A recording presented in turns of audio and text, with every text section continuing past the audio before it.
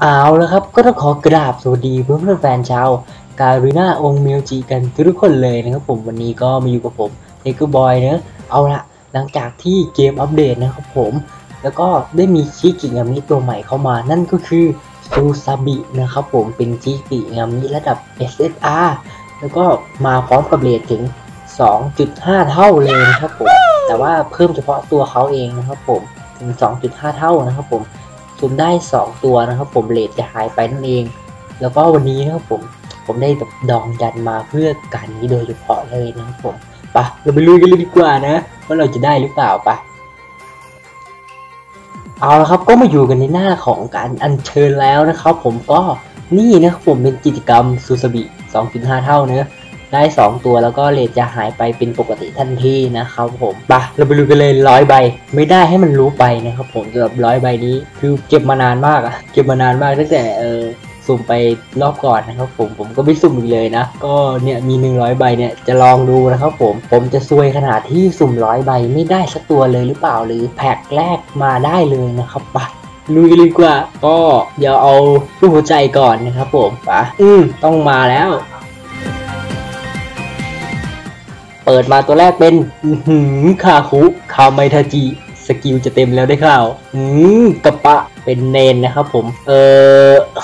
ปีศาจนี้โหยนี่นี่จะไม่มี SR เลยเหรอ เดี๋ยวเดี๋ยวเดี๋ยวเดี๋ยวคือมันมันมันไหลลื่นไปหรือเปล่า โอ้โหเฮโยสองตัวตัวสุดท้ายเป็นน้องอุโบเมะนะครับผมปะก็ได้ SR มาสองตัวนะ ก็ถือว่าไม่เท่าไหร่หนึ่งร้อยใบเราจะเฮ้ยทำไมรู้สึกแบบดีได้สิมาตูซาบิใช่ไหม มันต้องเขียนแบบชื่อเขาสิเขาถึงแบบจะมาหาเราใช่ป่ะ เออ มันต้องเขียนชื่อเขาซูซาบิอะเขียนสวยขนาดเนี้ย ถ้าไม่มานะ ถ้าไม่มานะ เดี๋ยวจะเปิดใหม่อีก เปิดมาตัวแรกเป็นแมวชิเลโกะนะครับผมเป็นโอ้โห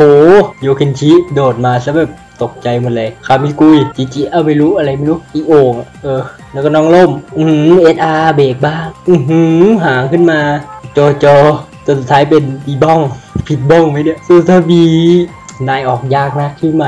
หนึ่งร้อยใบนายต้องมานะ เราจะเปิดให้ถึง 100 ก็ได้ แต่นายต้องมาเข้าใจเปล่ามา เราต้องพิมพ์ฉายาเขาหรือเปล่านะครับผมเขามีฉายาว่าที่เรารู้จักดี นี่เฮียห่วงตรงมาเปิดตัวแรกมาเป็นหือมุดมาจากใต้ดินน้องกบอื้อหือโยฮีโยอีกแล้ว โจโจมาหือพักมาว่ะเอาไปอัพสกิลนะ ว่าจะเล่นอยู่ทำไม่อยู่หือคิวเคสซิงเมะจำชื่อได้เลยหือโดดมาจากข้างบนหือ เกือบไปแล้ว แล้วก็คาบิกุยตัวท้ายเป็นน้องหอย SR เฮ้ย SR แหละ 3 ตัวนะครับผมสำหรับแพ็กนี้ไปต่อกันเลย อย่ารอช้า หมดไป 3 แพ็กอย่างเร็วนะ ก็ยังไม่มีวี่แววของเฮียฮวงจะมาเลยนะครับผม เราถ้าแพ็กนี้ไม่มานะ เราจะย้ายชแนลมันต้องมันต้องวาดอะไรอะหืมสมุไรโนเลมาว่ะคิวซึคิวมินิโกอีกแล้วอืมโมบาอื้อหืมจะโดดมาจากข้างบนบ่อยสิเสียวนะเนี่ย โอคุณนะ แล้วก็น้องสาวพีดิบคิมินาโกะอีกแล้วสองตัวในแพ็กเดียวเลย คาฮุหืมอันกัน ต่อไปเป็นมาอีกแล้วสองตัวเลยชิบหายไม่ไหวแล้ววะเช่นท่านผู้ชมผมไม่ไหวแล้ว รู้สึกว่าแนวนี้มัน อืมมันต้องมีการเปลี่ยนแนวบ้าง เพื่อสิ่งที่ดีขึ้นใช่ไหม ผมพูดบ้างดีกว่า จงมาสำหรับเอเดอาของข้าซูซูบิจงมาขอแห้งหมาแล้วเนี่ยเมื่อไหรจะมาเนี่ยมาเปิดตัวแรกมาเป็นโอกุนะนะครับผม เอ่อตอนอยากได้นี่ไม่มาอื้อหือตัวนี้ก็ตอนอื้อหือมาสองตัว เดี๋ยวเดี๋ยว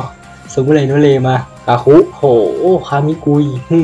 มโยเฮอุบุเมะมาปีศาจหิวโหยหิวโหยอื้อหื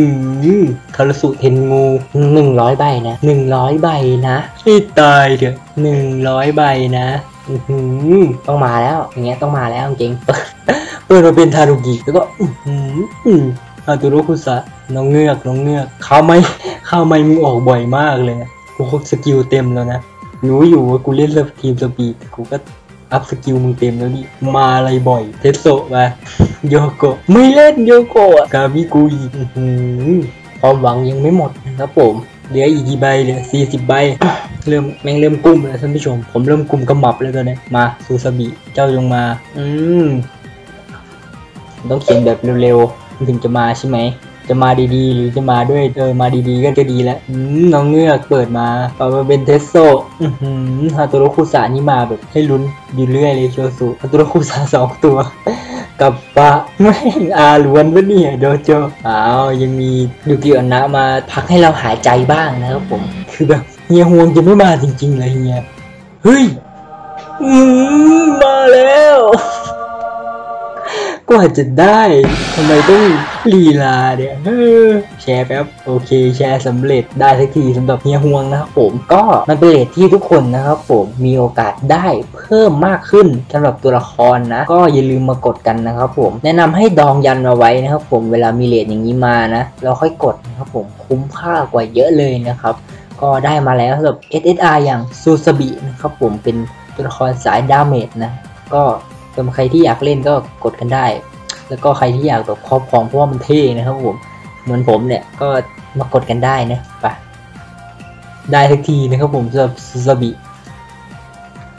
ก็ เก็บก่อน เหลือ 35 ใบนะครับผมก็นี่นะครับจะขึ้นว่า2ทับไป1ทับ2นะครับผมแปลว่าเรากดได้อีกหนึ่งตัวนะ แต่ผมไม่กดแล้วนะ ผมจะดองยันต์เอาไว้กดเอออีเวนต์หน้าดีกว่านะครับผมก็หมดไป 70 ใบนะครับผมไม่ถึง100ใบหรอกก็ อยากให้ทุกคนมากดกันนะครับผมไปไปพาไปดูความหล่อนี่นะครับผมสำหรับซูซาบินะครับผม เดี๋ยวรีวิวไหมรีวิวแบบคร่าวๆไหมเดี๋ยวผมปลุกพลังให้ดู เชดยังรอใส่เสื้อสีแดงนะครับผม เปย์ไหมเดี๋ยวค่อยไปเปย์ทีหลังนะ ก็มาดูที่สกิล เดี๋ยวแป๊บนึงครับแป๊บนึงแป๊บนึง